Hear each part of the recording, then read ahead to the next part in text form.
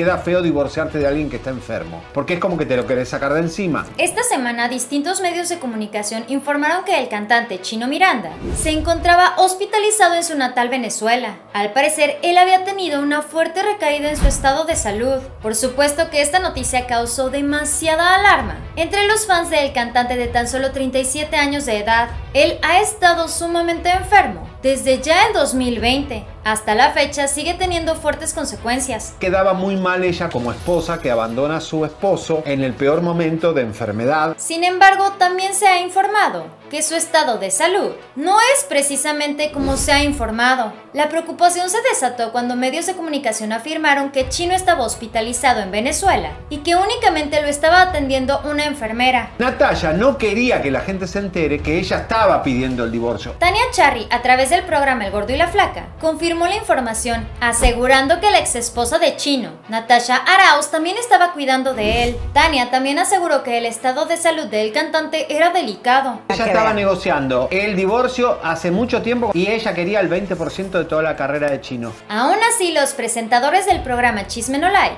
afirmaron que Natasha Arauz no quería que se supiera que al parecer, con todo el asunto del divorcio o la enfermedad de Chino, ella se está quedando con una enorme cantidad de dinero. Una persona que está mal se le haya permitido firmar todos estos compromisos. Natasha está intentando por todos lados ocultar cuánto dinero se está llevando. Al parecer, ella, con el estado de salud de su ex esposo chino, le hizo firmar unos documentos aún sabiendo que no está del todo bien. De meterse en pareja con Natalia, Chino empezó a consumir otra sustancia que lo llevó a estar así. En el programa Al Rojo Vivo se había mencionado que una persona muy cercana a Chino había comentado que efectivamente el cantante estaba en su tierra natal recibiendo tratamientos médicos.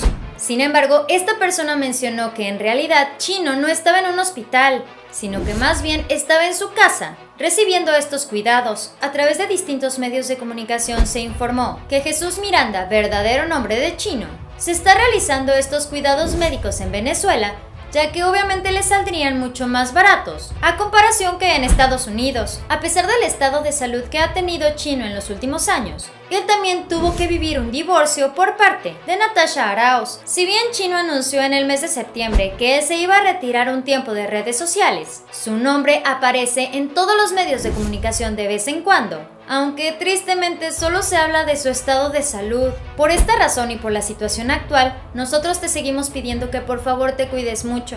Tristemente, todo esto todavía no termina. Así que debemos continuar con las medidas necesarias de seguridad. Este fue el Muro de la Fama. Dale like a este video, suscríbete y síguenos en Facebook. Pero antes de que te vayas, chécate este video. Estoy segura que te va a encantar.